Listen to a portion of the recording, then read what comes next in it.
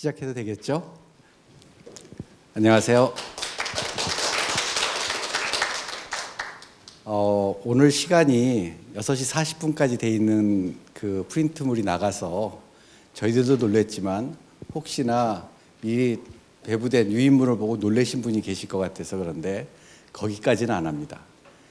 저희들이 딱 시간 저녁 배고플 때 정도에 끝내도록 하겠습니다. 예, 저는 의과대학에 있는 박건우라고 합니다. 제 전문 분야는 어, 신경학이라고 그래서 뇌에 대한 것을 병이 있는 사람 고치고 또 학생들 가르치고 이런 일을 하고 있습니다. 어, 저희들이 지금 하고 있는 이 갈등 수업은 저번 학기에 했었던 수업입니다.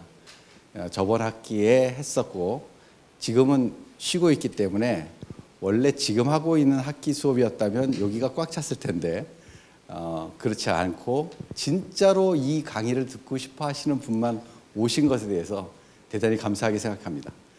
어, 저희들이 이 갈등 수업을 하게 된 이유부터 먼저 좀 말씀을 드릴게요. 저희들이 수업이 좀 독특합니다.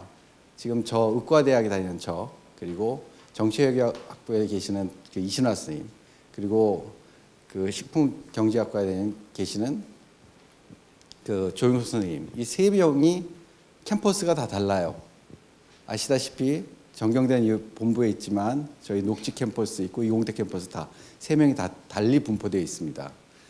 그리고 별로 만날 일이 별로 없는 사람들이에요. 그런데 이제 우연한 기회에 저희들이 어, 연구가 이 고려대학교에 큰 화두로 떠올랐을 때 그래도 좀 삐딱한 사람들이 있었다는 거죠. 어, 잘 가르쳐야 되는 거 아니야? 그 생각을 했었습니다. 그래서 아주 단순한 목적으로 우리 잘 가르치려면 어떻게 돼야 되지? 그래갖고 어, Be Good Teachers라는 어, 그룹이 됩니다. 밴드 그룹은 아니고요. 어, 저희 교양 교육실인가요? 거기서 CTL이라고 하는 데서 그 이런 것을 도와주는 프로그램들이 있어요. 그래서 이제 그것을 세 명이서 같이 시작을 했고 1년, 2년 지나면서 이제 여러 가지 학생들의 교육을 위해서 우리가 이런 것을 노력하자라는 얘기를 하던 차에 그런 얘기 우리끼리만 하지 말고 결국에는 종국에 가서는 학생들한테 한번 수업을 만들어 보자 해서 어, 만들어진 겁니다. 어, 세 명이 같이 하기 때문에 어, 상당히 많은 시너지가 있으리라고 저희들은 예상을 했고요. 어, 실제로 많은 시너지도 있었지만 또 한편으로는 세 명이 하기 때문에 어, 수업을 이끌어가는데 많은 갈등이 있었습니다.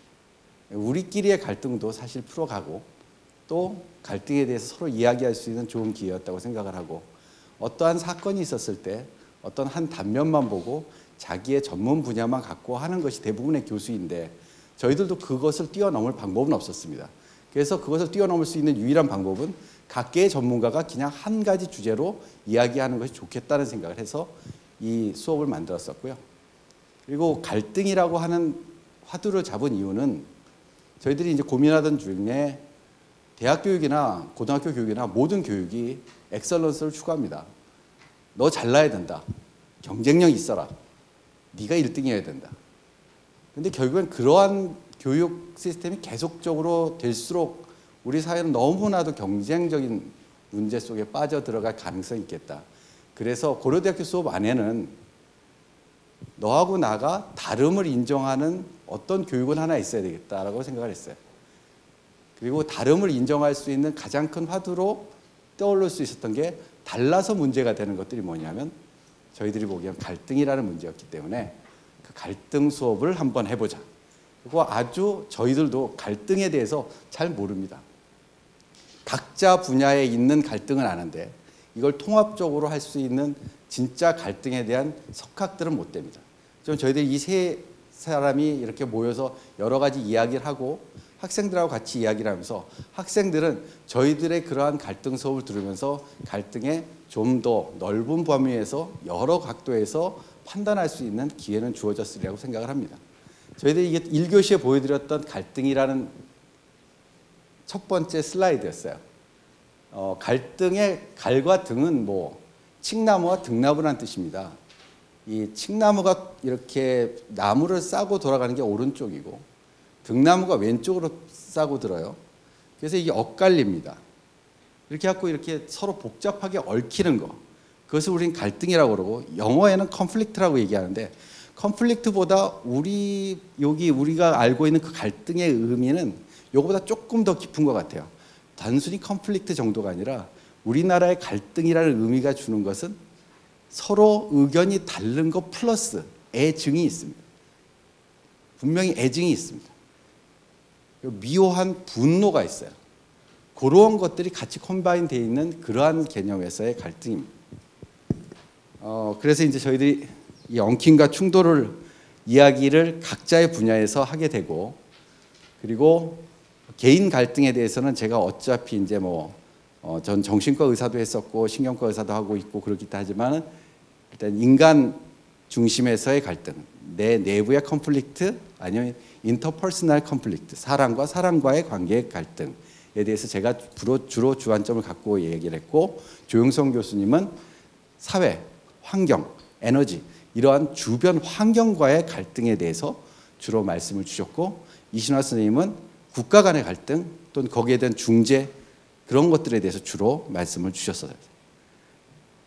그래서 저는 주로 이제 뭐 가족 간의 갈등이나 스스로의 갈등, 개인 간의 내 마음속에 내재돼야 될 기본적인 윤리에 대한 갈등. 그런 것들이 이제 무너졌을 때 여러분들 어디 가시겠어요? 내가 무너지면 아니면 나와 나에 가까운 사람이 무너지면 제일 가까운 지인한테 가겠죠. 내가 무너졌을 때는 부모님한테 갈 것이고 애인과의 문제가 있었을 때 또 부모님한테 가겠죠. 그렇지만 성적이 떨어졌을 때는 교수님을 찾아가고 이렇게 다 찾아가서 어떻게 갈등을 해소할 수 있는 포인트들이 있어요. 상식과 가치가 무너진 사회 갈등은 뭐 법체제 안에서 또 이렇게 갈등을 무마하는 시스템이 있습니다. 그렇지만 법이 무너진 국가의 갈등은 어디에서 처리를 할까요? 아마 국제기구나 이런 것들에서 뭐 처리를 하고 강대국의 개입이나 이런 걸로 처리를 할 겁니다. 근데 오늘 여러분하고 같이 나눌 주제는 이 모든 것이 무너져 있던 상황을 말씀드리려고 합니다. 르완다라는 곳이 저도 잘 모르고 어, 오늘 이제 special guest로 르완다에 직접 이제 거기에서 일을 하고 오셨던 분도 한번 말씀을 드리려고 하는데 그 루안다의 실정과 그리고 루안다에 무슨 문제가 있었는지 그리고 그들의 갈등이 무엇인지 거기에 대해서 이신화 스님께서 먼저 올라오셔서 그 스토리를 쭉 풀어드리고 여러분들과 공감대를 형성한 다음에 같이 이야기를 하는 시간을 갖도록 하겠습니다. 이신화 스님. 정치외교학과의 이신화라고 합니다. 반갑습니다. 저는요 일단 간단하게 왜 르완다인지 그리고 르완다에서 어떤 일이 벌어졌는지 그 부분에 대해서 어, 제가 한 30분 정도 얘기를 하게 되어 있거든요. 그 혹시 30분이 넘거든 저 뒤에 계신 분이 사인을 한번 좀 보내주세요. 5분 전부터. 여기 밑에 영어로 된 Land of Thousand Hills라고 그랬잖아요. 이 Hills하고 heal하고 스펠링 비슷하고 같이 발음이 되지만 첫 번째 hill은 언덕이고 heal은 치유예요. 그렇죠? 그래서 이 얘기가 요즘에 많이 나오는 이유는 여러분 아프리카 생각하면 사막 생각하고 물도 없고 가난하고 그런 것만 생각을 하시는데 르완다는 원래 아프리카의 스위스였어요. 산도 있었고요. 호수도 있었었고 굉장히 아름다운 곳이었는데 그 hill이 호수는 그냥 빨갛게 물들었고 피로 그다음 이 heal은 수천만 수천 개의 heal이 수천 개의 힐링이 필요할 정도로 비극이 있었었다는 그런 아주 유명한 구절입니다. 제가 자꾸 뒤로 했는데 그래서 어떤 일이 벌어졌는지 제가 디테일하게 말씀을 드리지 않겠지만 간단하게 말씀을 드리면 어, 독일, 벨기에 같은 유럽에서 일단 식민 통치가 들어와요. 근데 여러분 일본의 앞잡이가 우리나라를 통치할 때 일본 사람이었지 않고 우리나라 사람이었던 경우가 많지 않았습니까? 마찬가지로 저 멀리서 아프리카까지 와서 통치한다는 게 그렇게 쉽지가 않았었기 때문에 그 통치를 일단 그, 록, 그 현지 사람들을 많이 썼었어요. 그런데 이 유럽의 사람들의 그 통치를 할 때 이 정당성은 뭐였냐면 하얀 사람이 다스려야 된다고 운명 지어졌다라는 거였어요. 그러니까 되도록 어떤 사람이 가, 가, 저기 했었어야 될까요? 덜 까만 사람, 그죠? 그리고 덜, 더 유럽 사람하고 그래 좀 비슷한 사람이 가르쳐, 가, 그, 가, 통치를 해야 된다는 그런 게 있었었거든요. 그게 투시였습니다. 근데 문제는 투시족이 훨씬 더 소, 소수적이었다는 거죠. 사람 수가 적었다는 거예요. 근데 후투족은 여러분 쿤타킨테라는 영화 보셨는지 모르겠고 제가 좀 이따 보여드리겠지만 이제 그렇게 생긴 사람들이 그럼 통치를 당한 건데 그 사람들이 80% 이상이 되는 나라가 바로 루안다였고 부룬디였었어요. 그래서 이렇게 인종 갈등이 생겼는데 이 인종 갈등 속에서 정권 그 탈출 탈취 현상까지 벌어지면서 굉장히 복잡한 현상이 벌어진 것이 바로 식민지 때 일인데 이 식민지 때 벨기에가 다스릴 때 벨기에가 관심이 있었던 거는 그 식민지에서 자원을 그 착취하는 것이었고 자기는 이익을 챙- 챙기는 것이었지 투시랑 후투가 싸우든 말든 그건 별로 간- 상관하지도 않았고 별로 신경을 쓰지도 않았었습니다. 그래서 1960년대가 다가가면서 이제 식민 통치라는 것이 이제는 좀 없어질만 할 때 그때 그냥 식민지들은 영국 식민지, 프랑스 모두 그랬듯이 그냥 훌쩍 떠나가 버려요. 그걸 보통 영어로 colonial legacy라고 하는데요. 그 이 식민지 유산이 굉장히 많은 이 인종 분쟁을 가져왔고 그 인종 분쟁이 르완다를 포함한 굉장히 많은 아프리카 국가에 벌어지고 있었습니다. 아무튼 1961년에 독립을 하는데 61년에 독립을 한다는 뜻은 그 2, 3년 전부터 이제 그 식민지 통치가 좀 이렇게 약화됐겠죠. 그 약화됐었을 때 이미 종족 간의 분쟁이 벌어지기 시작을 했었어요. 그래서 61년에 독립을 한 다음에 15%밖에 안 되는 투시족이 가만히 놔두면 그 다수인 후투족이 자기네를 잡아먹을까봐 강압 진압을 하고 그 과정에서 2만 명을 학살해요 이미. 이 2만 명이 학살이 되면서 많은 투치족이 우간다로 망명을 갑니다. 1973년에 하비아리마나라는 소장이 구테타를 일으켜요. 그, 군, 그 아프리카는 아직도 군부 구테타가 굉장히 많거든요. 여러분 군부 구테타 하면 우리나라도 여러 번 있었었죠. 자 그리고 일당 독재 체제를 하다가 엄청난 시간이 지났죠. 90년까지. 그때 하비아라마나가 아 이렇게 일당 독재를 해서는 내가 계속 될 수가 없겠구나라고 정치적인 조건을 만든 다음에 다당제 민주주의를 어, 선, 선포해요. 근데 다당제 민주주의를 선포했을 때 인프라가 갖추어지지 않았기 때문에 이 기회를 이용할 때만이 내가 무언가 할 수 있겠다라고 생각한 투시족들이 그 이제 전쟁을 일으키게 돼요. 여기에 난민화된 투치족이 우간다에서 나타났다고 했는데요. 루안다 조금 동북쪽이 루, 우간다거든요. 그럼 여러분이 세 살 때 엄마 손을 잡고 루안다 캠프, 저 우간다 난민 캠프로 가요. 1961년에 도망을 갔죠. 그럼 몇 살이 돼요? 33살이 되죠. 그럼 30년 동안 나는 엄마나 내 주변 사람들한테 들었던 게 뭐냐면 저 나쁜 투시 놈들이 우리 땅을 빼앗고 그 백인 놈들의 뭐라 그러죠? 그 끈아풀이 돼서 우리를 고통에 빠지게 한 다음에 많이 학살을 해서 우리는 어쩔 수 없이 여기 산다. 언젠가는 돌아가야 된다라는 증오심을 불어일으키게 되는 거고요. 그러니까 2만 명이 학살된 중에 내 부모나 내 친지가 있었다는 사람은 트라우마가 생기겠죠. 이제 그러한 트라우마. 그래서 그런 보복이 굉장히 이게 머릿속에 나타나기 시작을 하면서 더 난민화 난민이 이제 군사화돼 가지고 투치족이 공격을 시작을 합니다. 그래서 전쟁이 벌어지는데 내전이 발발을 하는데 1993년 우여곡절 끝에 유엔과 이제는 지금은 African Union으로 바뀐 그 아프리카 연합 지역 기구가 중재를 해서요. 보통 싸움을 하면은요. 제3국이 가서 화해를 하거든요. 그래서 그 제3국인 탄자니아 수도인 아루샤에 가서 협정을 해요. 협정을 한 다음에 내전이 공식적으로는 종식이 됩니다. 그리고 연립 내각이 생긴다는 의미는 뭐냐면 후투족과 투시족이 같이 하는 연립 정부가 생기는 거죠. 근데 내가 말씀드렸던 것처럼 소수민족인 투치가 지금 잡고 있다 그랬죠. 투치가 대통령 자리는 안 내놔요. 그런데 부통령, 총리 자리를 주겠다고 했어요 후투한테. 근데 차일피일 하면서 후투가 아니 투시가 불만을 갖게 되면서 다시 조금씩 조금씩 분쟁이 일어나기 시작합니다.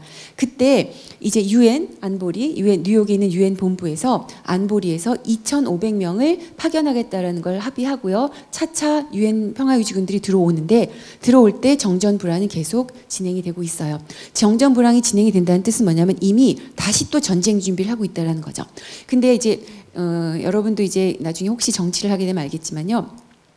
서로 욕을 하면서 스파이를 키우거든요. 근데 이렇게 아프리카처럼 법적으로 이렇게 좀 무질서한 데서는 더 많은 이런 스파이가 있어요. 이제 그러한 스파이들이 이제 있는데 그 스파이 중에 한 명이 이 유엔의 사령관한테 얘기를 한 거예요. 유엔 현지 사령관한테 genocide cable로 이제가 불리, 이제 부르는데 지금 후투 강경파들이 왜냐하면 지금 하비아리마나는 아까 말한 것처럼 다당제를 시작하기 시작하면서 온건파가 됐거든요. 그 불만을 품은 후투 강경파들이 무기를 쌓아놓고 있다. 여러 가지 무기를 그거를 우리가 공격해야 된다. 이거는 어펜시브한 게 아니다라고 얘기를 했어요. 그래서 그거를 보냈는데 당시 부트루스 부트루스 갈리가 사무총장이었었고요. 그 다음 사무총장이 누구였냐면 코피 아난이었죠. 그 코피 아난이 바로 이 유엔 평화유지 그 본부의 대장이었어요. 그 대장한테 보냈는데 그걸 안 봐요. 왜 안 보냐면 그도 그럴 것이 하루에 만 개도 넘는 전 세계에서 이런 케이블이 들어오거든요. 그러한 케이블이 들어오는데 이 이거는 무시가 됐었어. 1월 4일에 들어온 이, 이 케이블은 하필 부트로스 갈리가 프랑스에 무슨 회의를 갔을 때 온 거기 때문에 그 사무총장이나 코피 아난이 이거를 받아들이지 못하게 돼요. 제가 이거를 어, 사실은 제가 여기 코피아난의 그 특별 보좌관을 하면서 이 제노사이드 독립 조사위를 했었어요. 그래서 그때 가서 이 케이블이 왜 들어가지 않았냐 이런 걸 조사를 했었었는데 지금도 코드 그 뭐 카톡이나 이런 거 보면 비밀톡 하는 거 있죠. 그 비밀톡은 굉장히 수- 이게 막 멈불돼서 들어가기 때문에 아무도 못 풀거든요. 몇 명만 풀 수 있거든요. 그러한 팩스가 있는 거예요. 그래서 똑같이 이렇게 갈등이란 이라고 이거를요. 그 당시 케이블 그 아프리카 이런 데서 팩스를 싹 넣죠. 넣어가지고 유엔 본부를 오면 그 유엔 본부에서는 갈등이란이라고 익히는데요. 만약에 고려대학교 있는데 팩스로 오게 되면 막 막 저블링 돼서 온다고요. 이제 그러한 그러한 케이블을 보냈는데 이걸 보지 못했다는 이제 그런 거죠. 자, 그래서 이제 94년에 아까 아루샤 협정이 있었는데 아까 협정인데 계속 좀 티격태격 싸웠다 그랬죠. 한 번 더 무언가를 해야 되겠다 생각을 해서 이 저기 루안다 하비아리마나랑 그다음에 그 부룬디의 응바라야라는 대통령이 이제 아루샤에 가서 다시 한번 평화협정을 공고화하고 둘이 손을 잡고 이제 우리는 투시 후투가 다 잘 살게 할 거다라고 얘기하면서 두 사람이 같이 루안다 수도인 키갈리 공항으로 돌아옵니다. 돌아오면서 붕 하고 터진 게 바로 비행기 추락 사건이에요. 비행기 추락 사건이 나면 상식적으로 생각해도 블랙박스도 찾아야 되고 그다음에 조사를 해야 되지 않습니까? 조사를 해야 되는데 어떤 문제가 생겼냐면 터지자마자 15분에서 30분 새에 제가 밑에 쓴 것처럼 쥐새끼 같은 투치족이 우리 후투 대통령을 죽였다라는 게 라디오에서 나오기 시작을 해요. 그러면서 사람들의 심리를 막 자극을 시키는 거죠. 그 자극을 시키는데 이미 투시랑 후투는 관계가 나빠져 있는 상태 속에서 후투 대통령을 죽였다라는 건데 그 결론부터 말씀을 드리면 사실 이거는 후투 강경파가 죽였다는 게 더 맞는 것 같아요. 왜냐하면 후투 강경파가 두 마리 토끼를 한 번에 잡으려고 한 거예요. 투시족을 다 제거해버리고 그 다음에 온건파 후투가 그렇게 막 투시나 이런 애들을 이렇게 끌어들여 갖고서 음, 하려는 그거에 불만을 품었기 때문에 이거는 또 하나의 군부 구태타면서 인종 갈등인 그런 부분이 나타나기 시작을 했었습니다. 내전이 계속 진행이 됐죠. 아까 제가 93년 10월부터 되고 있었다고 했으니까요. 그래서 이제 투시가 투시 투시 반군이 키갈리 정도까지 진입을 해요. 진입을 하니까 후투족이 이제 도망을 가기 시작하는데 그냥 도망가지 않고 도망가면서 사람들을 죽이기 시작하는 거예요. 근데 이거는 어, 어떤 전쟁에서나 그런 일들이 많이 벌어지거든요. 자 이렇게 무차별 학살을 해서 그때 20만 명이 거의 한 달 만에 죽어요. 여러분 오늘 지금부터 시작해서 1부터 시작해서 오늘 밤까지 몇 가지 세나 보세요. 만 못 셉니다. 굉장히 힘들어요. 1, 2, 3, 4, 5, 6, 7 한번 지금 해보세요. 지금부터 시작해서 오늘 밤까지 얼마나 샜는지 저한테 가르쳐 주세요. 그게 근데 20만 명을 죽였다라는 건 어마어마한 거죠. 근데 4월 30일 날 근데 PKO가 뭐라고 했냐면 유엔 평화 유지 활동이 들어가 있었었잖아요. 93년 10월에 피, 평화 유지라는 건 뭐예요? 피스를 평- 평화를 유지해야 된다는 거죠. 근데 이 유엔도 정말 잘못한 게 there's no peace to keep. 평화를 더 이상 킵할 게 없다. 왜? 학살도 벌어지고 있고 내전도 벌어지고 있기 때문에 그러면서 철수를 결정을 합니다. 근데 이 철수를 결정할 때 가장 결정적인 역할을 한 게 뭐냐면 아까 2,500명이 제가 PKO가 갔다 그랬나요? 그 PKO 중에서요 50명 정도만 정예 멤버예요. 선진국에서 보내는. 그리고 그 사람들이 그 커맨드가 됩니다. 사령관이. 50에서 100명도 안 돼요. 그게 누구였었냐면 벨기에였습니다. 근데 후투 강경파가 그걸 알아요. 걔네 몇 명만 죽이면 벨기에 사람들이 철수한다는 걸 알아요. 아니나 다를까 4월 6일 날 터지고 나서 4월 10일까지 벨기에 사람 10명을 죽여요. 그랬더니 일주일 만에 벨기에 외교장관이 와서 협상한 다음에 우리는 철수하겠다고 해요. 철수하면서 그 사진이 있거든요. 제가 사진을 못 구해서 못 가져왔는데 헬기를 타면서 이 모자 그, 그 평화유지군 모자가 blue helmet이라고 불리는 하늘색 모자거든요. 그걸 다 던져버려요 루안다로. 루안다 굿바이라고. 그러니까 누구만 남아요? 제가 특정 국가를 말해서 죄송하지만 가나, 방글라데시, 탄자니아 이렇게 그냥 돈 받고 와서 아무런 이런 discipline도 없고 어떤 의지도 없는 그런 후진국의 소위 말하는 후진국의 그 평화 유지군들만 남아 있기 때문에 그냥 공격을 하려고 그러면 그냥 슬슬슬슬 피해 버리는 거예요. 싸울 수가 없었었던 거예요. 그러니까 의미가 없었죠. 거기 있을. 그래서 there's no peace to keep이라는 말을 가지고 270명만 남기고 다 철수를 합니다. 이 부분은 그 이후에 4월 6일부터요. 그 나중에 7월 18일 날 키갈리 제압하죠. 100일 동안 80만 명에서 100만 명이 죽어요. 보수적으로 집계해서 자기네가 좀 덜 죽였다고 말하는 후투도 65만 명이라 그래요.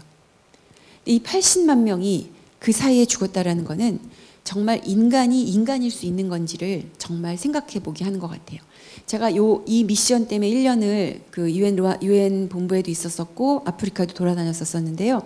그때 참 많이 괴로웠었어요. 근데 그때 저희가 가장 많이 인터뷰를 했어야 되는 사람이 현지 사령관 캐나다의 그 어, 날레어라는 분이었었는데 그분은 정신병원에 거의 3년을 있고 그 다음에 나와서도 굉장히 고생을 했어요. 왜냐면 몸이 아- 마음이 아프면 몸도 아프니까요.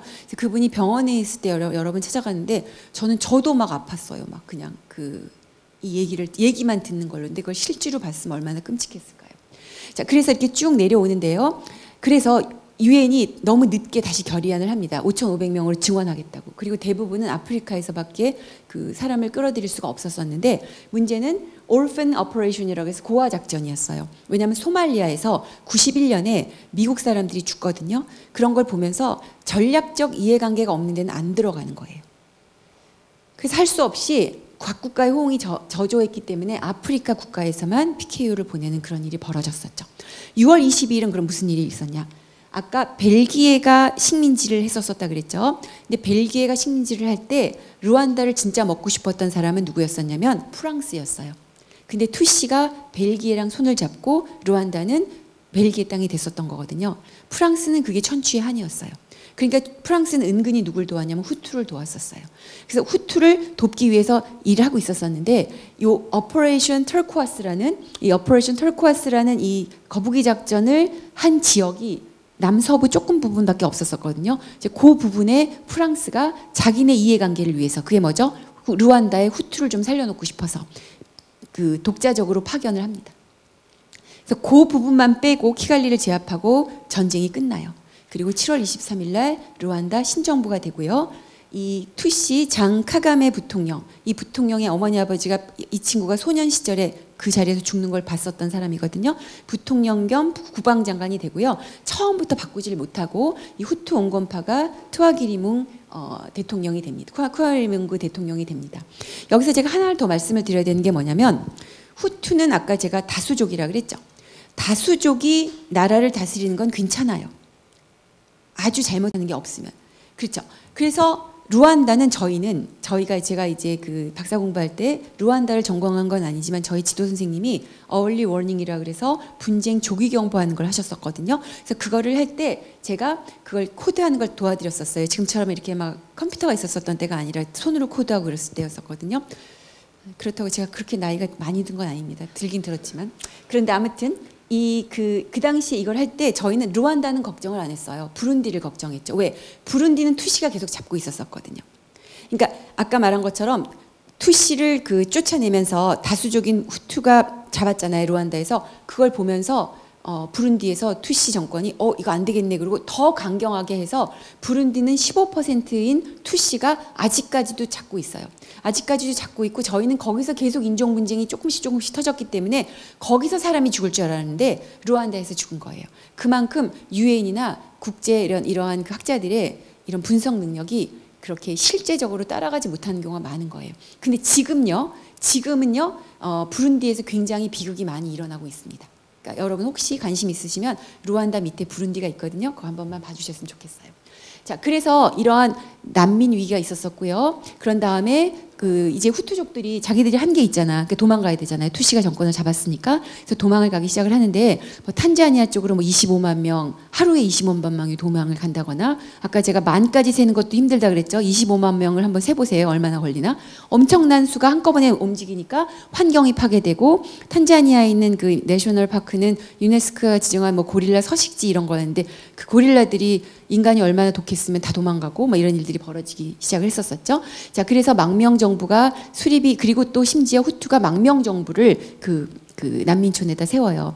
근데 그 당시에 탄자니아 쪽은 환경 문제가 생겼었고요. 그 옆인, 옆인 그 자이르는요, 지금 이제 콩고 공화국으로 민주공화국으로 바뀌었는데 그 자이르에서는요 후투족 비슷한 사람들이 자이르의 반군으로 계속 활동을 하고 있었어요. 근데 이 루안다의 후투족들이 거기에 들어가가지고 막 망명 정부를 세우고 난민촌에서 폭동을 일으키면서 자이레에 있는 minority였었던 후투족과 합쳐서 자이레가 멸망을 하게 돼요 정권이 망하게 되고 그, 그 콩, 저기 콩고 민주공화국이 생기게 됩니다. 무슨 뜻이냐면 한 국가에서 일어난 내전이 소위 말하는 확산 효과, spillover 효과가 일어나면서 이렇게 아프리카 전체가 굉장히 복잡한 상황이 벌어지는 거죠. 특히요, 이 콩고 콩고 내전은요, 나중에 막 여기저기서 사람들이 막 개입을 하고 그래가지고 아프리카판 세계 대전이라는 말이 나올 정도로 아프리카에 열 개국이 어 이렇게 들어가고서 한 한 경우예요. 아까 제가 카가메 대통령 얘기했었어요. 이 카가메 대통령은 나중에 제가 기회가 있으면 말씀을 드리겠지만 제가 요즘에 그 유엔 평화구축위원회 위원으로 활동을 하고 있는데 정말 그 나라에 어떠한 지도자가 있느냐가 그 나라를 결정하는 것 같아요. 여러분 뭐 멀리 안 가고 위에 그 김정은 뭐 김일성 그 체제만 봐도 알 수 있지 않습니까? 근데 이 카가메가 정말 일을 잘했었어요. 처음에 부통령 국방장관으로 실세에 있다가 90 2000년부터 지금까지 거의 15년이죠. 15년은 뭘 하고 있냐면 대통령을 하고 있어요. 오늘 집에 가서 아니면 지금이라도 구글을 해보셔서 폴 카가메 삼선 가능 헌법 하면 나와요. 얼마 전에 이것도 개선해서 7년 더 하려고 하고 있어요. 그런데 이 사람이 그 화합을 했습니다.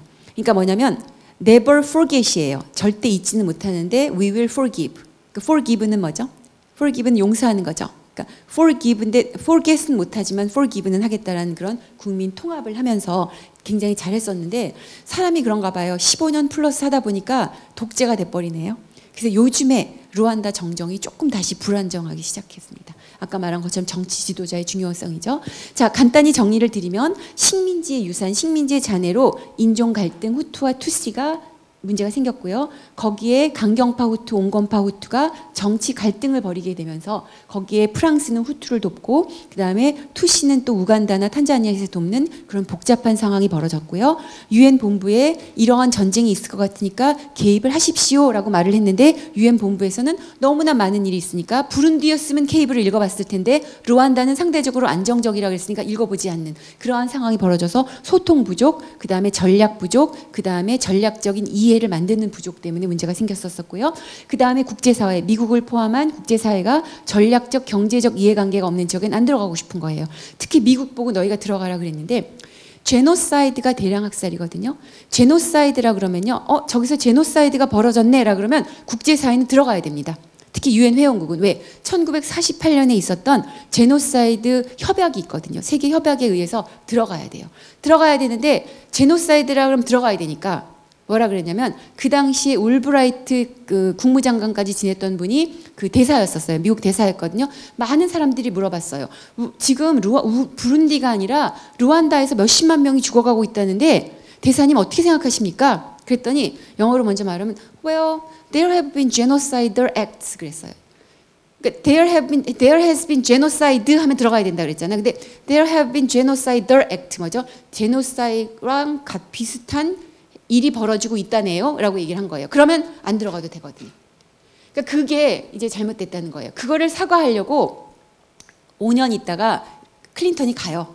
루안다에 가는데 Air Force One이 뭐죠? 그게 대통령이 타는 비행기죠. 그 Air Force One에 엔진을 끄지 않고 공항에서 사람들을 만나서 악수하고 다시 그걸 타고 나가요. 그래서 안간이 못했었어요 그때.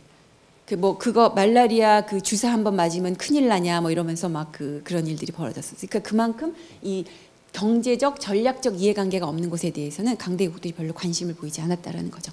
그 다음에 난민 피해자 이거는 우리 조영선 교수님께서 얘기해 주실 것 같은데 의도치 않은 가해자가 될 수 있다는 거예요. 아까 말한 것처럼 일부러 난민 전사가 돼서 거기서 그 난민촌을 파괴시킨거나 아니면 그 루안다 그 투시들이 30년 지난 다음에 공격해 오는 것처럼 난민 전사가 되기도 하고요. 나는 정말 그냥 피해자예요. 피해자인데 가서 먹고 살려다 보니까는 남의 나라의 환경을 파괴한다거나 사회를 불안정시키거나 사실 지금 시리아 난민들이 유럽에 간 거 그것도 결국은 의도하지 않은 이런 비극 아닌가요? 그 사람들은 정말 더 없는 피해자거든요. 피해자인데 요즘은 유럽에 가서 너무나 많은 수가 그런 일을 벌이고 있으니까 유럽에서 요즘은 넘버원 안보 이슈가 난민이래요. 그러한 문제들이 발생할 수밖에 없다는 거죠. 아까 제가 그 지도자의 리더십이 굉장히 중요하다 그랬는데요. 이 전후 화해랑 평화 구축, peace building이 굉장히 중요한데요. 저는 peace keeping을 공부했던 사람인데 요즘 미션을 받은 건 peace building이에요.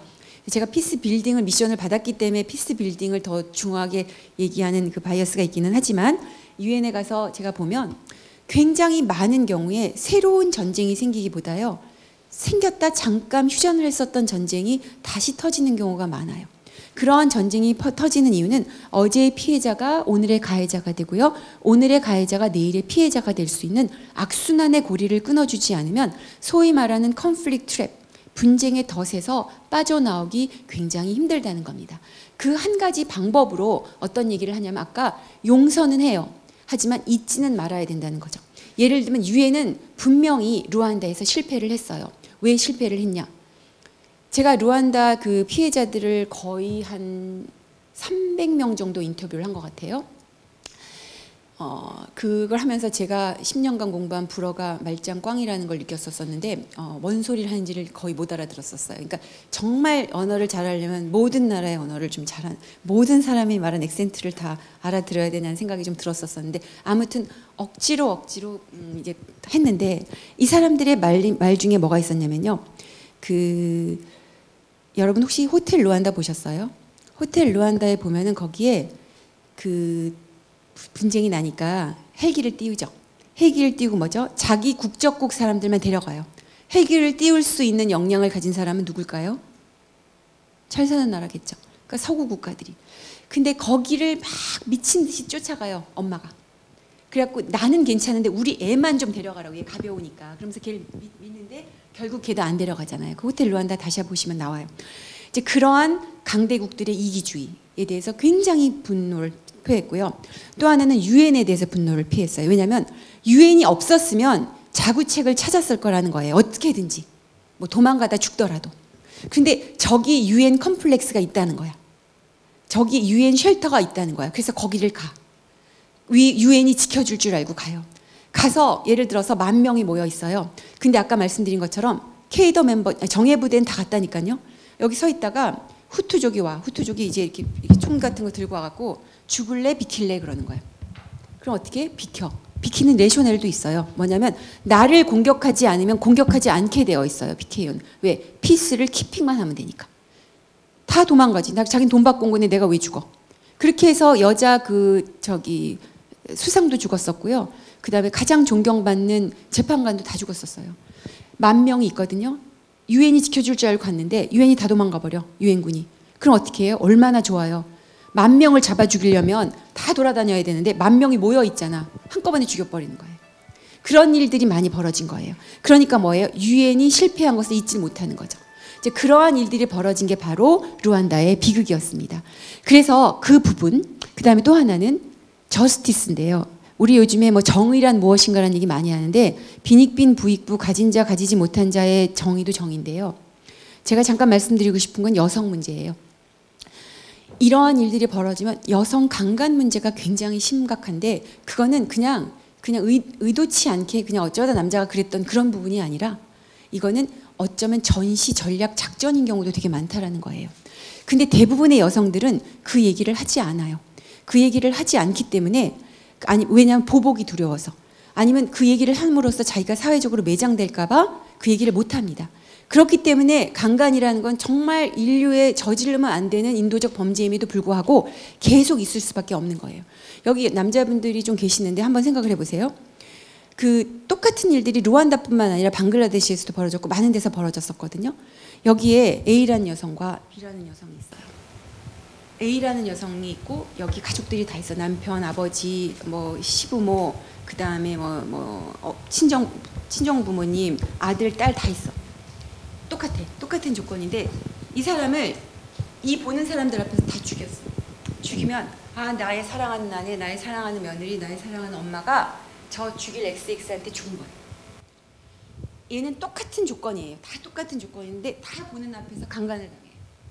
그럼 이 여자도 너무나 불쌍한 걸 아는데 그때부터 이 여성의 집은 파괴가 되는 거예요. 결혼 생활도 유지가 되지 않고요. 이 여자를 진심으로 이해하는 사람은 저희가 통계를 내본 경우가 딱 하나예요. 한 명. 엄마야, 엄마. 그 딸의 엄마. 딸도 아니었었어요.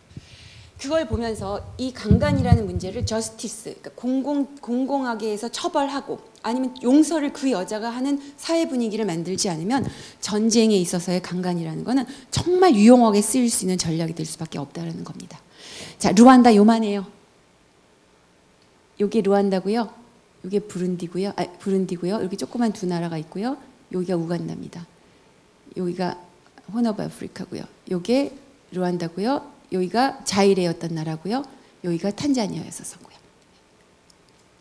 여기 lake들 보이죠? lac라는 게 그 불어로 lake 호수라는 뜻이거든요. 이게 다 피로 물들었다라는 뜻이에요. 후투족이 이 정도 됐었었고요.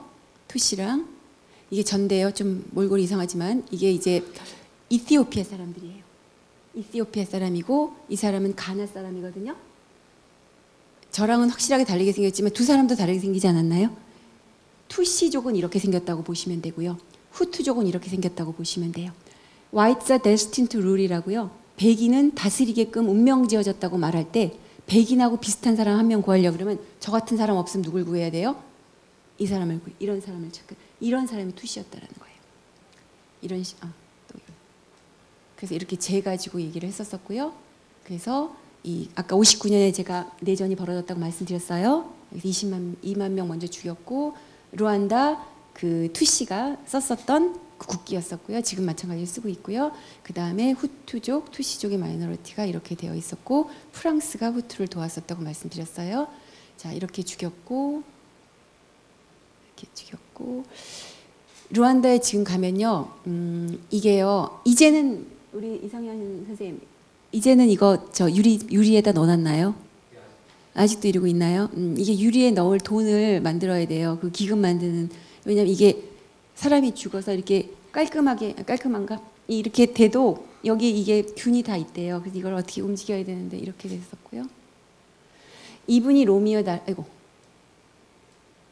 이분이 로미오 달레어예요. 처음에 갔었을 때예요. 근데 이 사람과 이제 그 현지에서의 갈등 이런 부분들 때문에 제대로 이루어지지 못했던 거고요. 엄마를 찾으러 나왔는데 너무 냄새가 나서 이 사람들이 죽인 사람들 잡아놓은 사람들 너무 평범하게 생기지 않았어요. 이 사람들이 곡괭이를 들고 다 쳐 죽인 거예요. 사람들을. 그러니까 인간이 어떻게 인간일 수 있고 비인간이 될 수 있는지에 대해서 심각하게 생각할 수 있는 거죠. 이건 뭐죠? Please don't let them kill me. 나를 죽이게 만들지 말라는 거고 뭐라 그러죠? 나는 투시 안 할 거예요. 죽이지 마세요. 죽였죠? 이 당시 타임지를 보면은요. 지옥에 악마가 한 명도 안 남아 있대요. 왜 그러냐면 다 루안다에 가 있어서. 라는 얘기가 나올 정도의 헤드라인이 나왔었습니다. 과거를 잊지 않되 forgive 하지만 아니 forget, forget 하진 않지만 forgive 해야 되고 united 해야 된다는 얘기가 나옵니다. 전 여기까지 하려고 그러는데.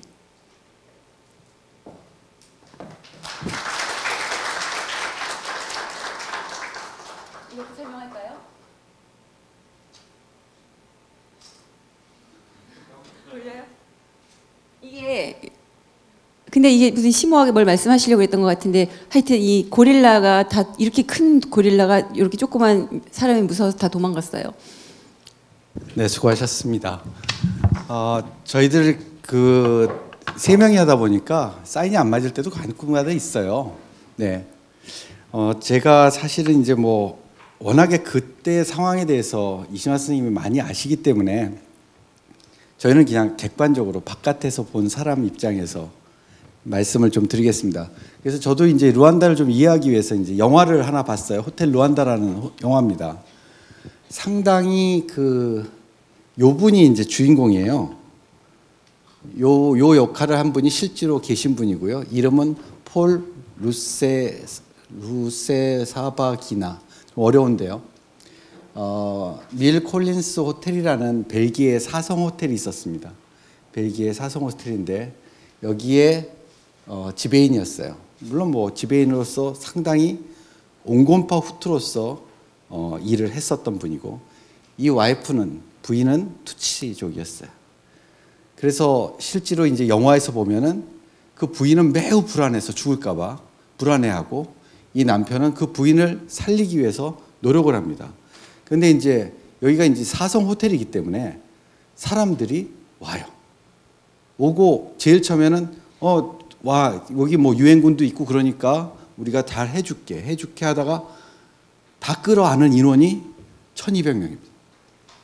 호텔에 1,200명을 먹여 살리면서 100일을 버티는 거예요. 근데 이 사람 안 죽었어요, 다행히. 그러니까 영화가 됐어요. 왜 안 죽었을까? 이분이 후투족이었기 때문이었을 것 같죠. 그건 맞습니다. 그렇지만 그때 당시에 옹고파 후투족도 같이 많이 죽었습니다. 여기서 우리가 한번 봐야 될 것은 관계라는 문제예요. 이때 이쪽을 이렇게 destruction 시키기 위해서 왔던 그 사람들을 이 사람은 호텔 지배인이라는 상당히 많은 사람들을 알고 있는 관계 속에서 그것을 지혜롭게 하나 둘씩 해결해 나갑니다. 때로는 뇌물을 주고 때로는 협박을 하고 당신이 이 일이 끝나고 나서 지금 투치 반군이 당장 이쪽으로 들어올 텐데 당신이 지금 나를 안 도와주면 후투족이 가면서 다 죽이거든요. 갈 때 당신이 나를 안 도와주면 당신이 영원히 전범으로 남을 것이다라고 후투 정부군의 간부를 협박을 하기도 하고 하면서 거기 있는 사람들을 살려냅니다. 실제 인물이라는 게 놀라울 뿐이에요. 근데 거기에서 보여주는 그러한 모습은 이분이 그렇게 특별한 사람은 아니라는. 계속적으로 보여줍니다.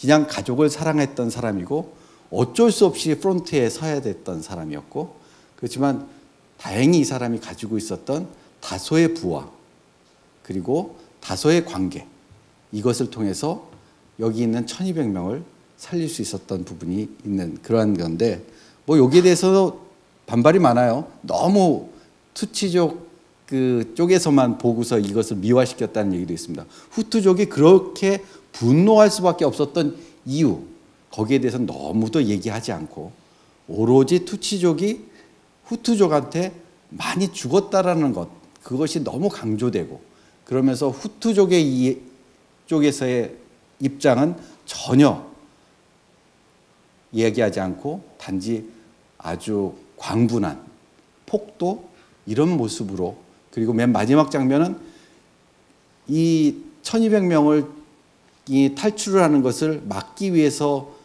이제 후투족 반군이 이제 이 사람들을 막기 위해서 죽이려고 달려드는데 그 사람을 투치족들이 이제 그 투치 반군이 다시 진격하면서 쫙 죽이는 장면이 나와요. 과연 이러한 것들이 이제 반복되면서 우리는 한면 투치족이 100만 명이 죽었다는 이 이야기 이전에 그럼 후투족은 안 죽었는가? 이 두 사람은 두 족족은 왜 이렇게 계속적으로 싸움을 했어야 됐었는가? 이 분노라는 그 부분에 대한 이야기를 하지 않을 수가 없다고 생각을 합니다. 사실 후투족이 바라보는 투치족은 우리가 친일파를 바라보는 모습과 아주 유사할 수 있다는 생각을 합니다. 그것보다 더 심하겠죠. 어떻게 보면 태백산맥에 나왔거나 아니면 지리산 그 공비 얘기가 나온 여러 가지 스토리들이 우리 안에는 잠재되어 있는데 그러한 것들하고 아주 시각이 비슷합니다. 그래서 루안다 이 사건을 저는 옆에서 보면서 결국에 아 우리 민족이 상당히 이, 이 모습에 공감할 수 있는 몇 개 안 되는 민족일 것이다라는 생각을 하죠. 우리도 아주 비슷한 스토리를 많이 갖고 있었고 그리고 우리도 또한 같은 민족끼리 이쪽은 종족이 다르다는 것이지만 우리는 이념이 다른 것 때문에 같은 민족끼리 서로 빨갱이와 비빨갱이가 싸우고 있었던 그런 히스토리를 갖고 있기 때문이죠. 이게 그냥 정신과 의사 입장에서 그냥 왜 어쩌다가 이런 일들이 벌어질까 그냥 한 사람 한 사람을 놓고 보겠습니다. 저는 국제적으로 분석할 능력은 전혀 없습니다. 지금 우리는 어떻게 해서 그렇게 아까 얘기한 대로 그렇게 사람이 악마일 수가 있느냐고 물어봅니다.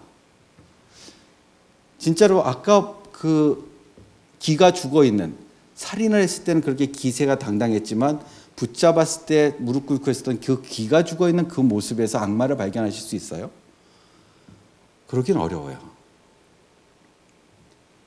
결국엔 이 제일 첫 스타트 부분인 물론 역사적으로 두 민족을 이간질했던 그 배기의 그 정책 말도 안 되는 그 정책인데 그 말도 안 되는 정책에 의해서 두 민족은 서로의 가치를 상실합니다.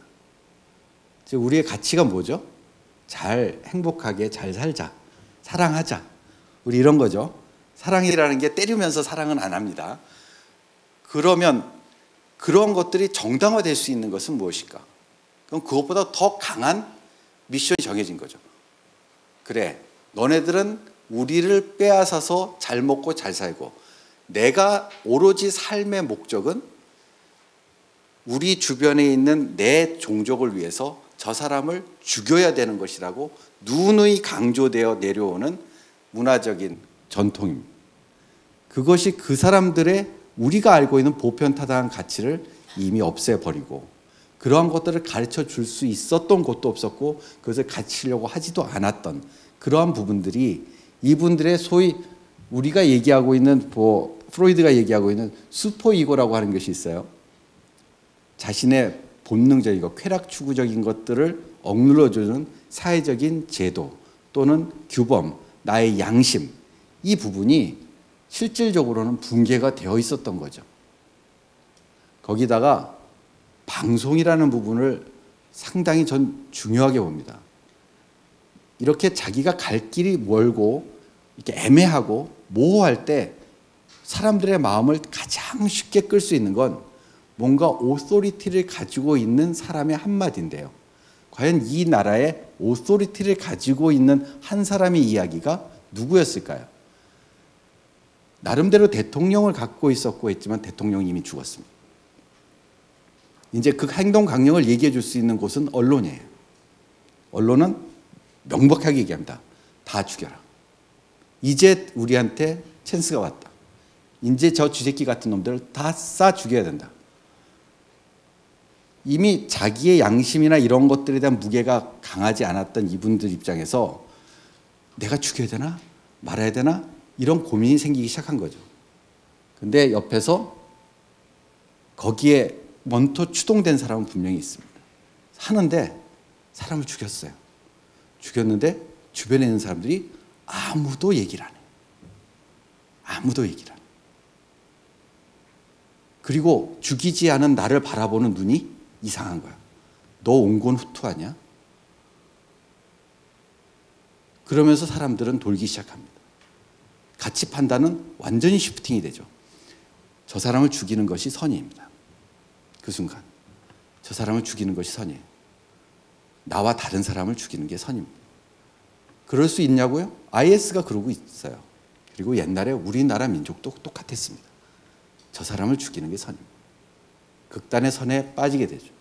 이미 우리한 그 슈퍼이고가 상실되어 있는 상태에서 주변에서 그래 너 잘해라고 하는 그 인정을 받을 수 있는 오로지 내가 할 수 있는 유일한 행동은 그 사람을 죽이는 일이었어요. 군중 심리라는 게 그런 것 같습니다.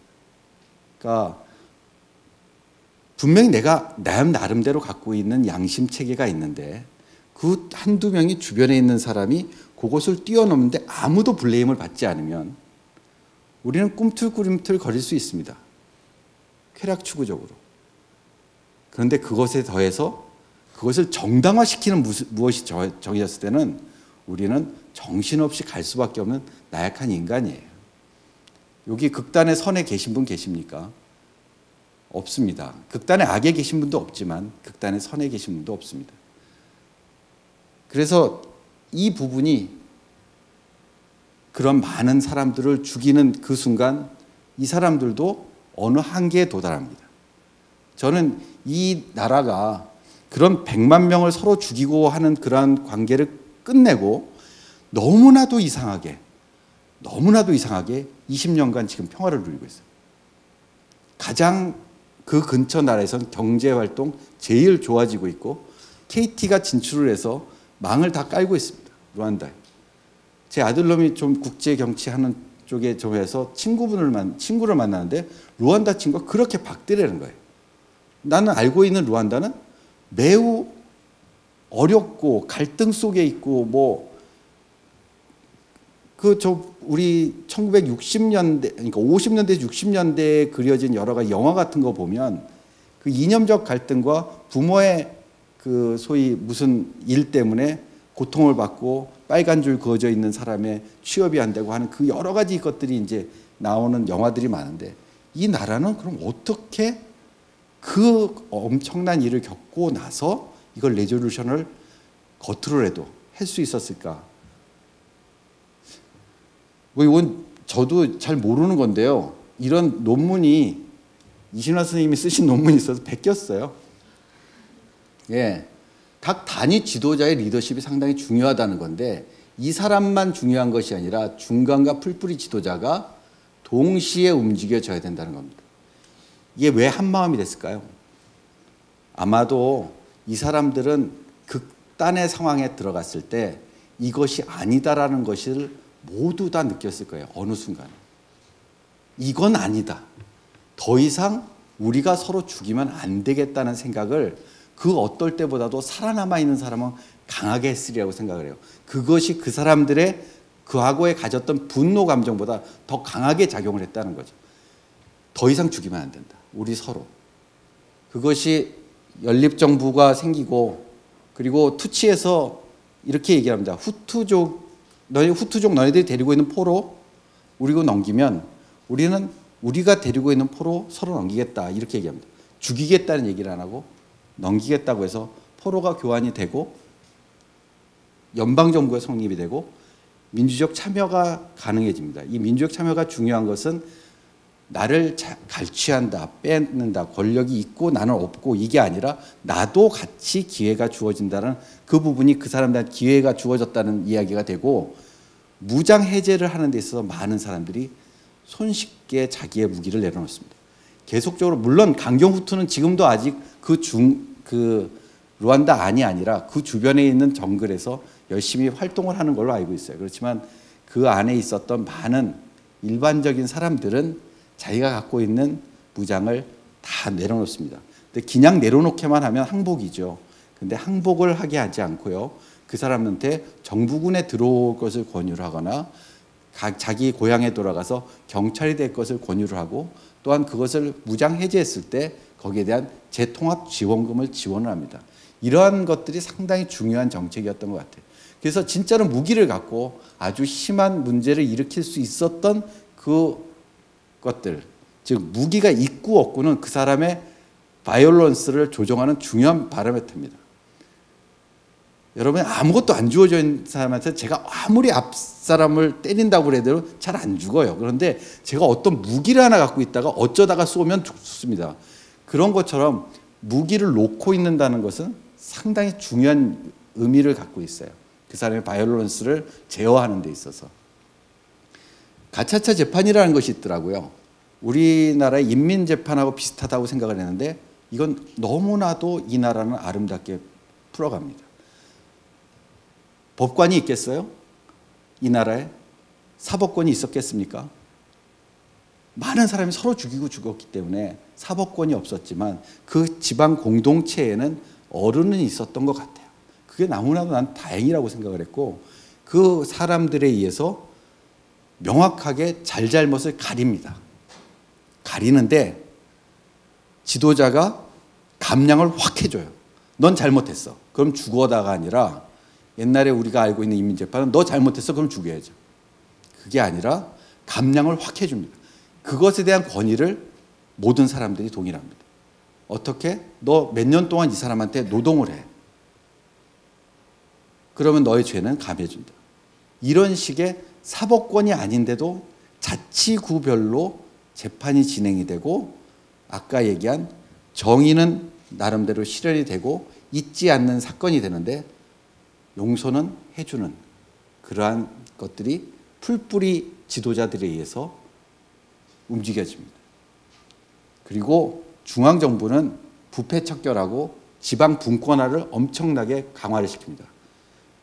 지방 분권화를 시킴으로써 그동안에 민족 대 민족으로 싸웠던 것이 아니라 우리 같이 이 동네에 살았던 동네 사람으로서 서로를 껴안는 모습을 갖게 만들어주는 이러한 것이 놀랍게도 20년 동안 진행이 됩니다.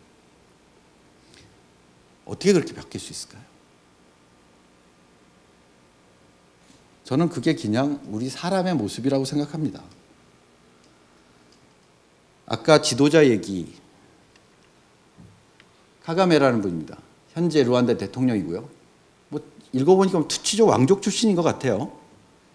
아주 직계는 아니지만 이 그래서 투치조 왕족이 쫓겨날 때 같이 우간다로 넘어갑니다. 우간다로 넘어가서 상당히 공부도 잘했대요.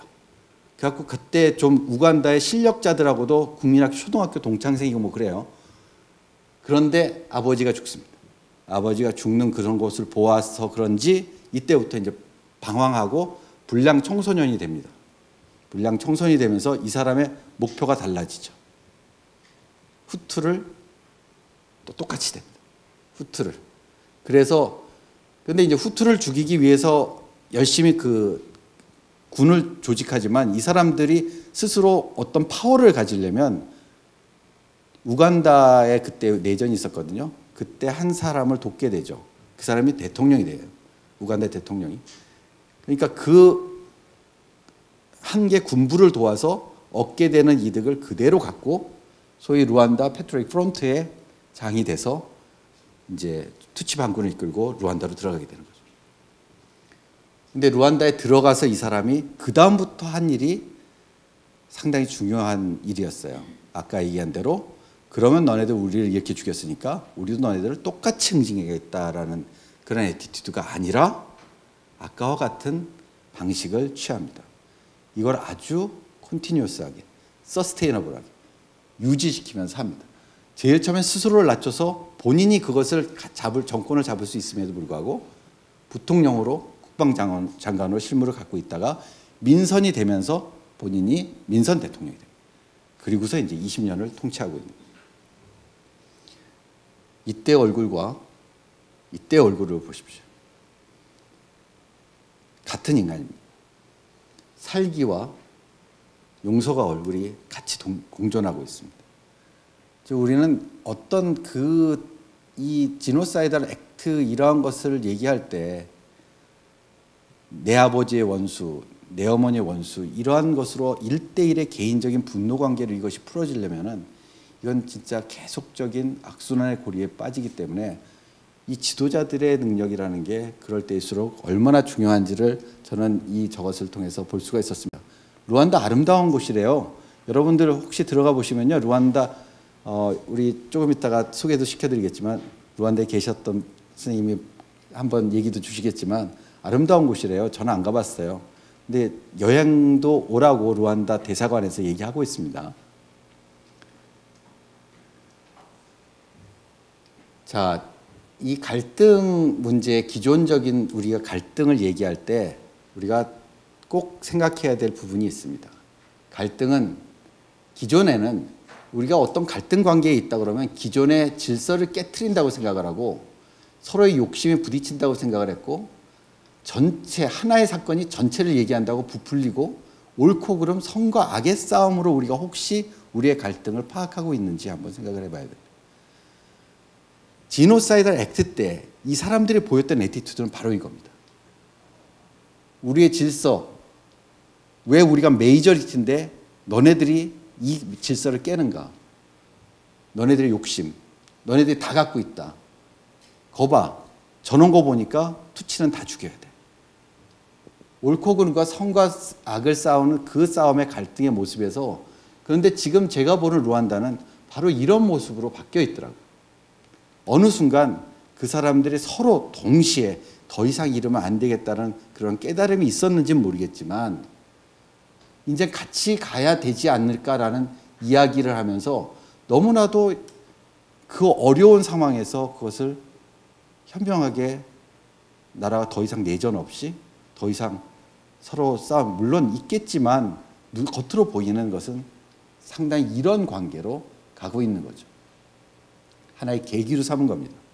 그 계기는 결국엔 이 루안다라는 나라가 원래 갖고 있었던 능력도 있었지만 아프리카에서 이제 상당히 높은 지위에 올라가는 그러한 20년의 세월이 지나가게 됐죠. 결국은 저희들이 맨날 하는 마지막 슬라이드는 이겁니다. 갈등은 어쩔 수 없이 어느 사회나 어느 순간이나 일어날 수 있지만 이것을 이러한 인식에서 조금만 벗어난다면 바로 이 시점이 우리가 문제를 해결해야 될 바로 그 포인트라는 것을 알게 되고 그것은 결국엔 우리한테 좋은 기회를 주는 부분이기 때문에 우리가 갈등에 대해서 피하려고만 하지 말고 때로는 직면해서 우리가 갖고 있는 갈등에 대한 잘못된 인식을 조금만 바꾼다면 우리가 서로 갈등의 관계에 있는 개개인이나 사회나 국가나 모두 다 어떻게 보면 조금 더 나은 방향으로 갈 수 있는 포인트를 잡을 수 있지 않을까 그런 생각을 합니다. 여기까지가 강의의 끝입니다. 감사합니다. 그리고 강의가 끝났다고 이 수업이 끝나는 건 아니고요. 이제 조용성 교수님께서 오셔서 저희들의 썰레바를 이제 현실성 있게 바꿔주시겠습니다. 조용 선생님.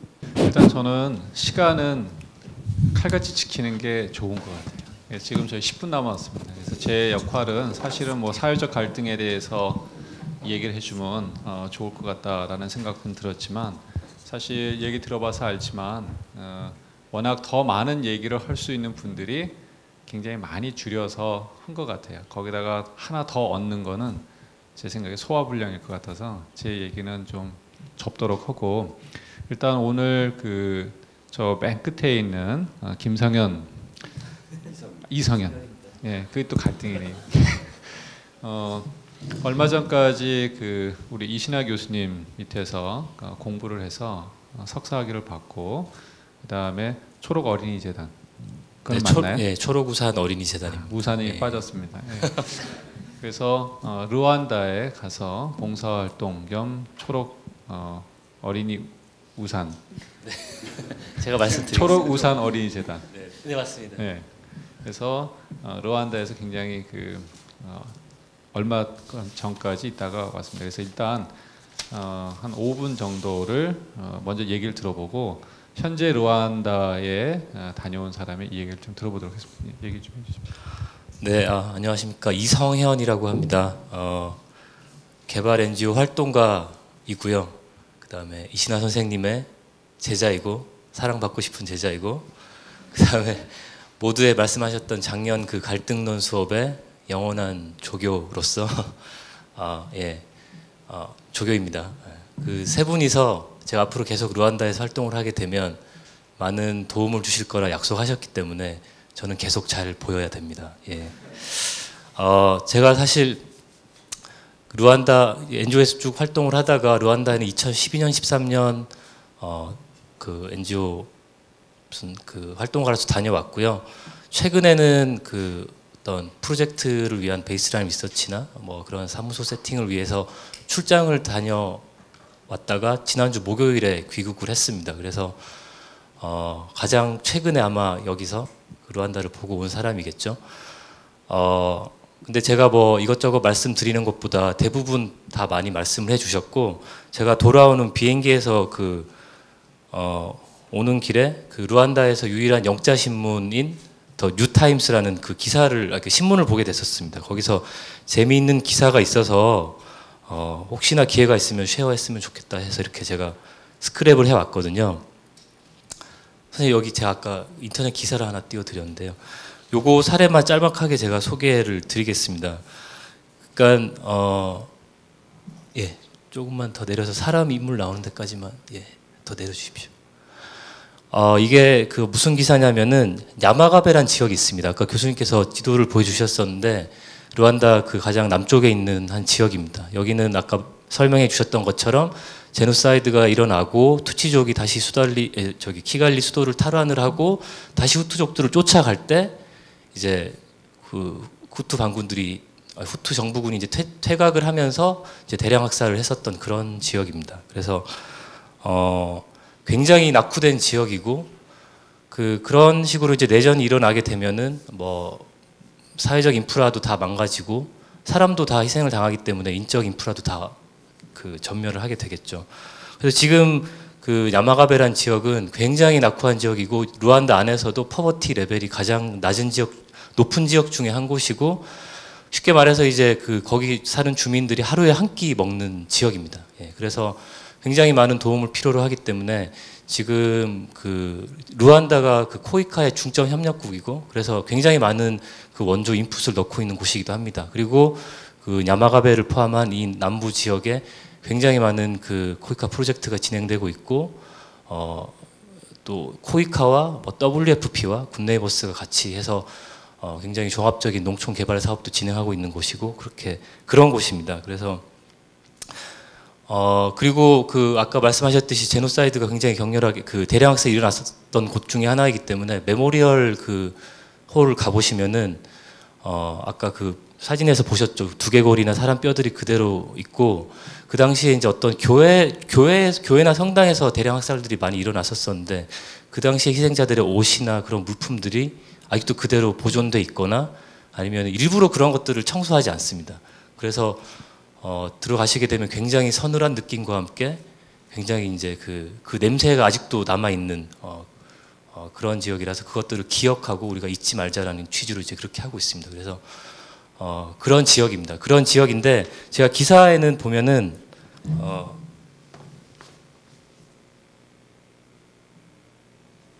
여기 이 학생입니다. 학생 대학생이고요.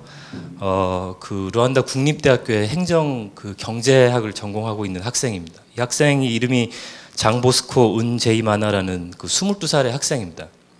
근데 이 학생이 이제 여기 기사 내용이 뭐냐면은 어, 그 지역에서 어, 지역에 이제 그 연료가 부족한 그런 문제들과 그 다음에 뭐 위생적으로 굉장히 그 청결하지 못한 부분, 그 다음에 이제 쓰레기를 버리는 그런 부분에 대해서 어, 이 문제를 어떻게 해결할까에 대해서 굉장히 그 자기가 전공과 연계해서 고민하고 연구를 하게 된 거죠.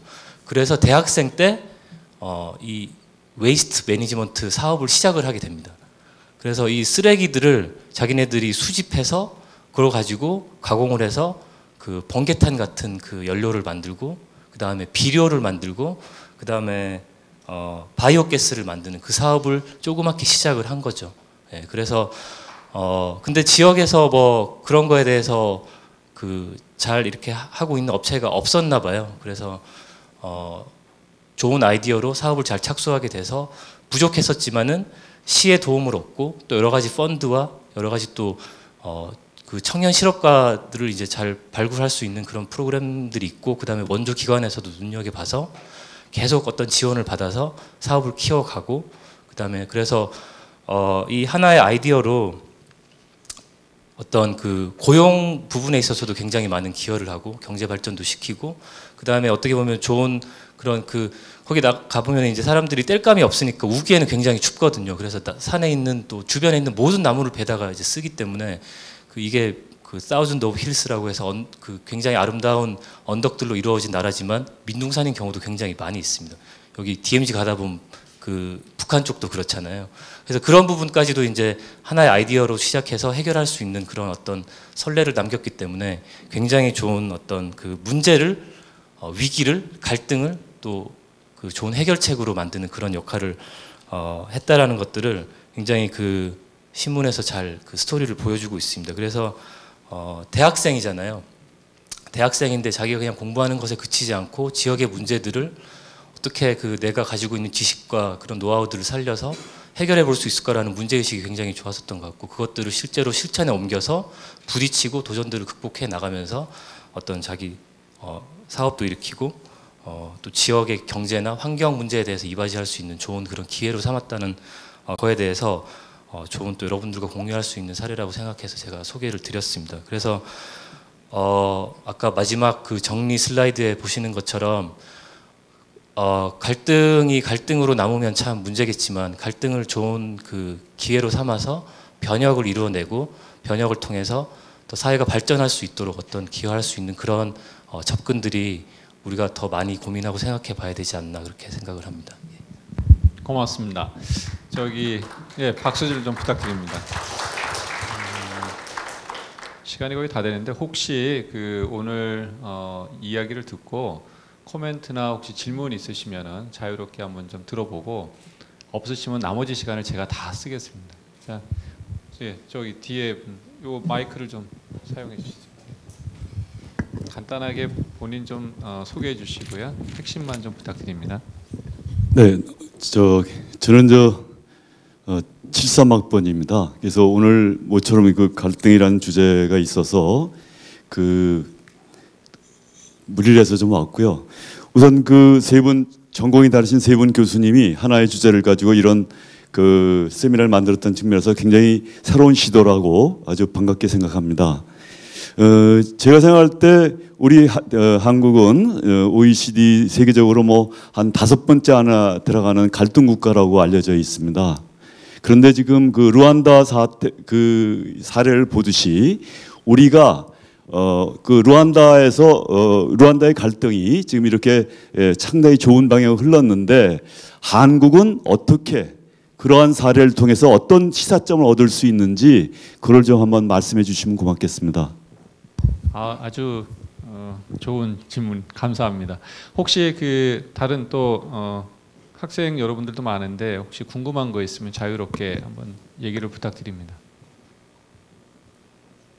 없으세요? 뭐 아무 어, 의견이라도 좋습니다. 우리 혹시 고등학생이에요? 아니에요? 미안합니다. 아 중학생. 아.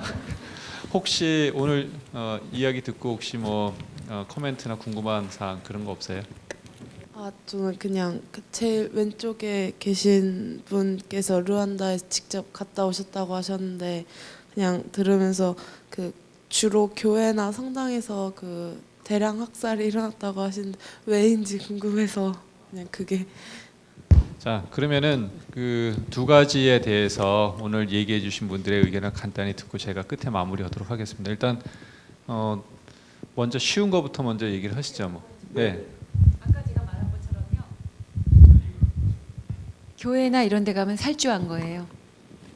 유엔 평화유지군이 있는 곳이나 아니면 그런 성직자가 있는 곳에서는 살주 알고 갔는데 거기서 지켜주는 사람이 없으니까 가장 효율적으로 후투 강경파들이 죽인 거죠. 혹시 그 부분에 대해서 김성 이성님 아 예, 그 교수님 말씀이 정확하고요. 그 Sometimes in April이라는 그 영화 보시면 그 장면이 나옵니다. 교회에서 이제 어, 사람들이 대피해 있는데 계속 그 후투 정부군이나 이제 인트라함의 그 게릴라들이 저기 들어와서 이제 투치족 색출해 내가려고 이제 계속 도는 거죠. 그리고 신부들한테 리스트 내놓으라고 계속하고 그 신부들도 굉장히 고민스러웠을 거예요. 근데 자기도 살아야 되니까 예, 그렇게 해서 그 아마 3개월 내에 100만 명이나 죽을 수 있었던 건 그런 식으로 아주 예, 그뭐 이렇게 어떤 이런 표현하면 안 되지만 효율적으로 예, 이렇게 진행될 수 있었기 때문에 가는 것 같습니다. 자, 그다음에 이제 아까 마지막으로 우리 교우님께서 해주신 그 부분에 대해서는 박건호 선생님부터 이신환 선생님 거쳐서 제가 마무리하는 걸로 해서 하면 어떨까 싶네요. 아, 혼자 하면 이게 갈등이지 않습니까? 그러니까 같이 저기 박건호 선생님부터 개인의 갈등 얘기해 주시고 국가 차원에서 얘기해 주시고 제가 마무리를 하는 걸로. 네. 저희들이 제일 그 갈등 수업할 때도 혹시 이런 질문이 나오면 어떻게 될까 좀 많이 떨렸습니다. 왜냐하면 여기에 대한 답을 진짜로 할 수 있다면은 우리 사회가 진짜 갈등 없는 사회가 되겠죠.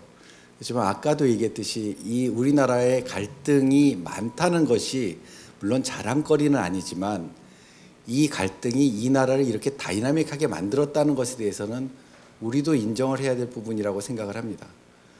그래서 저희들이 물론 피할 수 없고 어쩔 수 없는 여러 가지 우리의 상황 속에 있는 갈등이 있는 것은 있죠. 첫 번째로 남북 분단의 갈등. 두 번째로는 너무 빠른 노령화를 겪게 되는 이 나라 입장에서 사실은 기술 세대차와 그리고 실질적인 건강 세대차 그리고 더 중요한 경제적인 차이가 너무나도 빨리 벌어지고 있다라는 것. 그리고 그 사이에서 새로운 직업을 얻어야 되는 청년과 그 직업을 키핑해야 되는 중년과 그리고 사실 매우 적은 인구임에도 불구하고 지금은 적은 인구지만 앞으로 20년, 30년이면 메이저리티가 되는 노인 인구와의 임발란스 이런 것들이 저희들이 피치 못해서 저희들이 앞으로 겪어야 될 갈등입니다. 근데 이런 걸- 갈등이 다 잘 될 거야. 우리나라는 효 나라니까 이렇게 끝나면 안 된다는 거예요. 갈등이 나왔을 때 질 때 우리가 진짜 문제다라고 자꾸만 대비책을 만들어 가야지만이 된다고 생각을 해서 저는 우리가 지금 겪고 있는 갈등이 많고 부딪힘이 많고 이런 것들은 결국에 가서는 해결점을 가는, 가고 있는 하나의 과정인 다이내믹 속에서 봐야 된다고 저는 생각을 합니다. 그래서 전 이 갈등에 대해서는 매우 긍정적으로 생각하고 있습니다. 감사합니다. 그다음에 이 교수님. 시간이 없어서요. 저는 그냥 간단하게 화두만 말씀을 드리면 두 가지요. 첫 번째는 어, 루안다 같이요. 전략적 경제적 이해관계가 없어도 비극이 생겨요. 그 갈등에 국제사회가 개입을 하지 않기 때문에. 근데 우리나라는 전략적 이해관계가 굉장히 높은 나라거든요. 그런 높은 나라도 갈등이 생기는데 강대국들이 대리전을 할 수도 있는 거고요. 미중 관계에서 우리가 어떻게 밸런스를 맞춰야 될지 사강의 역학 속에서는 어떤 포지션을 잡아야 될지 그런 굉장히 복잡한 문제가 있고 또 우리는 역사적으로 일본에 대한 거에 굉장히 예민하지만 중국 역시 우리한테 어, 그렇게 녹록지 않거든요. 그럼 중국이 겉으로 보이 지금 겉으로 보이는 것만큼 우리한테 그렇게 친하지 않을 거고 북한이라는 존재가 있는 한 미국도 옛날의 동맹국이 아니고 일본은 어, 지금 뭐 그래 한번 노력해 보지 그러지만 또 내일 또 언제 야스쿠니 신사를 방문할지 모르는 그런 그런 상황 속에서 우리의 유너티를 어떻게 지킬 것이고 우리의 전략을 어떻게 세울 것인가 굉장히 중요하고요. 간단하게 한 말씀만 더 드리면 지금 시리아 난민이 유럽으로도 가지만 우리나라도 조금씩 오고 있는데 우리나라는 일본이 제일 늙은 국가라면 우리는 제일 빨리 늙어가는 국가입니다. 노동을 해결하기 위해서 이민자를 받아들일 수밖에 없는데 난민과 이민 이러한 부분들을 받아들여야 되는 소위 말하는 단일 민족 국가였던 대한민국이 어떻게 외국 사람들을 우리나라 사람으로 받아들일 수 있는지가 앞으로 굉장히 큰 갈등을 해소하는 문제에 굉장히 직결되는 문제인데 지금 박건 선생님 말씀하신 것처럼 우리는 우리 국민들끼리도 가진 자와 가지지 못한 자 이러한 갈등들이 굉장히 크거든요. 그러한 여러 가지 부분들이 해소되어야 될 거라고 생각합니다.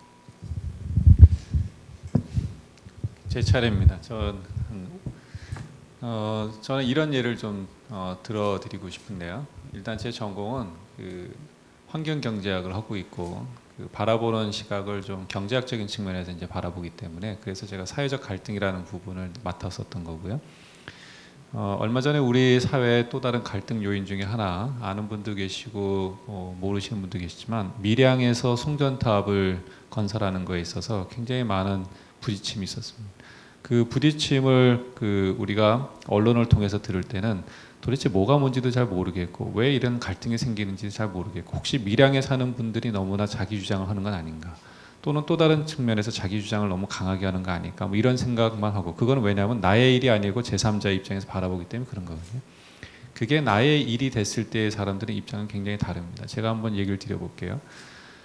우리가 어, 발전소를 필요로 하는 전기를 대도시 지역에 주기 위해서 발전소를 지어야 되는데 대도시 지역에는 발전소를 못 짓습니다. 사람들이 다 반대해요. 반대하는 이유는 세우면은 자기 집 땅값이 떨어지니까. 그래서 어디냐면은 제일 만만한 저쪽 떨어진 곳에 세우는 겁니다. 밀양이라든가 이런 조금 개발이 덜 된 곳에 발전소를 세워서 그곳에서부터 전기를 끌어와요. 송전선 200m 되는 송전탑을 아, 높이 100m가 되는 송전탑을 200m 길이로 늘어서 이렇게 가는 거죠. 그것까지는 좋은데 밀양이라는 지역을 어, 한쪽 밑에 있는 발전소가 지어져서 밀양을 거쳐서 서울까지 가야 되는 그 송전선로를 맵으로 이미 다 정했어요. 오래 전서부터. 그래서 이미 이제 그 담당자들이 이제 이어져 나가는 거죠. 여기서 발전소가 됐으니까 서울까지 가기 위해서 지역마다 송전탑을 짓는 거를 다 지어가는 거예요. 그런데 밀양이라는 지역에서 아 우리 지역에 이 송전탑 짓는 거 우리 싫어. 그러니까 돌아가던가 땅 밑으로 좀 지어주세요. 그런 거예요. 그랬더니 다른 지역은 아무 소리 없이 토지 수용해서 다 지어가는데 이 지역만 어떻게 된 거죠? 복잡해지는 거예요. 그러니까 담당하는 사람들이 일단은 여기 제일 나중에 두자. 어떻게 하는 거죠? 여기만 놔두고 다른 데부터 이어져 오는 거예요. 그 사이에 여기 있는 사람들은 계속 얘기하죠. 아, 우리는 이거 원하지 않으니까 다른 방법을 해줘. 우리 얘기합시다 하는데 담당하는 직원들은 어떻게 보면은 내가 맡은 일이 이게 끝까지 간다 그러면 모르죠. 그런데 하다가 내가 일단 보직을 발령을 딴 데 받으면은 이건 내 일이 아니에요. 다른 사람의 일이에요. 그래서 바뀌고 바뀌었어요. 밀양에 사는 사람들은 이건 내 일이에요. 그런데 지금까지 계속 그 한쪽에 얘기를 했는데 우리에게 그렇게 얘기했는데 들어주질 않더니 왜 맨 마지막 이제 우리만 남은 거예요. 밀양만 남은 거예요. 그리고 밀양만 건설하면 되는데 이 사람들은 뭐냐면 그동안에 우리의 요구를 얘기했는데 왜 안 듣고 있다가 왜 이제 와서 우리가 문제가 돼서 안 된다고 하느냐 이 얘기죠. 그래서 갈등이 거기까지 와서 폭발한 거예요. 그 여기서 우리가 생각해 볼 수 있는 거는 뭐냐면은 갈등의 원인과 그걸 해결하는 방법에 있어서 한번 우리가 고민을 많이 해야 돼요. 이게 내 일일 때와 제3자의 입장에서의 일이라고 하는 것. 다시 말하면 루안다에서 내전이 만- 우리의 일이라고 그랬으면 정말 우리가 느끼는 게 강하겠지만 이게 남의 일이었거든요. 하나의 예를 한번 들어볼게요. 그 우리가 영화에서 이장과 군수라고 하는 영화가 있었어요. 혹시 본 사람 있는지 모르겠는데요. 그 이장과 군수의 배경은 뭐냐면은 밀양을 얘기하는 아니 저기 부안 부안에 무슨 일이 있었냐면은 아마 모르는 분들도 많겠지만 부안 군수가 어, 결정을 하나 한 게 있는 게 뭐냐면 방패장을 부안의 발전을 위해서 내가 유치하겠다라고 결정을 했어요. 군수께서 그래서 그 다음에 군민들을 이제 설득하려고 그랬어요. 그런데 군민들이 어떻게 하다 보니까 아 우리가 원하는 것이 아닌 거를 왜 군수 왜 당신이 결정해서 우리한테 어, 넣으려고 하느냐 이 얘기예요. 왜 원자력 어, 발전소에 나오는 폐기물 그 처리하는 시설을 왜 우리 부안에다가 하려고 하느냐. 그래서 군수를 지지하는 층과 그렇지 않은 반대하는 사람들끼리 엄청나게 부딪혀서 데모에서 화환병 던지고 해서 난리를 쳤어요. 그래서 분, 군수가 린치를 당해서 병원에 입원까지 했었어요. 자, 군수의 입장은 뭐냐면은 내가 이거를 설치해서 부안군이 잘 살 수 있도록 하는 하나의 결정을 내렸는데 왜 군민들이 내 뜻을 이해해 주지 못하느냐 이거였어요. 군민들은 뭐냐면 먹고 사는 문제를 떠나서 내 지역에 내가 사는 곳에 들어오는 거에 대해서 왜 내 의견을 반영하지 않고 왜 네가 했냐 이 얘기예요. 그래서 결국에는 부딪힘이 있었어요. 부안에서 그 일 이후에 부안에서는 그 전까지는 도민 체육대회라는 게 있었는데 지금 없어요. 왜? 서로 같이 마을 이웃들이 뜻이 달랐기 때문에 부딪히면서 안 보는 거예요. 그런데 같은 어, 방패장 문제를 경주에 가서는 경주가 유치를 했어요. 방법은 딱 하나 뭐였냐면은 거기는 주민 투표로 했어요. 다시 말하면은 부안은 어떤 정책을 결정할 때 탑다운으로 했어요. 위에서 결정해서 다 아래로 내린 거예요. 우리가 이렇게 결정했으니 당신들은 이해하고 따라와 주십시오. 근데 그게 안 먹혀요. 옛날에 우리가 60년대, 70년대, 80년대까지만 해도 정부가 정책을 정하고 따라오라고 했지만 이제는 그렇게 하지 않은 거예요. 민도가 높아졌어요. 우리의 목소리, 우리의 삶 이런 거에 대한 어, 내 스스로의 권리를 굉장히 높게 어, 생각하는 거예요. 그래서 경주에서는 같은 문제를 놓고 10년 뒤에 어떻게 했냐면 우리의 문제니까 우리가 투표로 결정합시다라고 해서 투표를 했고 결국엔 투표 결과가 유치하는 걸로 된 거예요. 그래서 민주주의 원칙에 의해서 다수의 원칙에 의해서 받아들인 거죠. 지금도 경주는 약간의 문제가 있지만 부안처럼 이렇게 크게 부딪히지 않았기 때문에 그냥 그런 대로 굴러가는 겁니다. 여기서 우리가 생각해 볼 수 있는 것 중에 하나는 어떠한 것을 결정을 할 때 저는 정치 잘 몰라요. 정치적인 부분도 모르고 어떤 여러 가지 모르지만 어쨌든 그 우리가 더불어 살아가는 일에 있어서 그 일이 남의 일로서 내가 바라볼 때와 내 일이 될 때는 확실히 다르다는 것이고 내 일로서 다가오는 것에 있어서 탑다운으로 해서 누군가 그거를 나한테 결정해서 내려주는 거에 대해서는 굉장히 거부감이 생긴다라는 것이고 시간이 걸리더라도 결국에는 밑에서부터 많은 이해 당사자들이 얘기를 들으면서 시간이 걸려도 인내를 갖고 하나의 어, 하나의 그 뭐라고 하죠? 하나의 뭐가 돼야 돼요? 단어가 생각이 안 나요. 이것도 갈등이네. 병원에 병원에 하나의 우리가 합의를 이루어가는 게 굉장히 중요하다. 그래서 그것을 이끌어가는 것이 우리 사회가 지금 필요하지 않은가 싶은 그런 생각이 듭니다. 그러니까 제 입장에서 보는 답이 충실히 되는지 모르겠고요. 어쨌든 약속했던 시간보다 지금 10분이 더 지났습니다. 오늘 어, 좋은 어, 그 시간이 되었길 바라고요. 아무튼 다음에도 또 이런 기회가 어, 있길 바라고 또 그때가 되면 또 어, 좋은 모습으로 또 만나 뵐 수 있길 어, 아, 기대하면서 오늘 이 강의는 이걸로 마치도록 하겠습니다. 예, 감사합니다.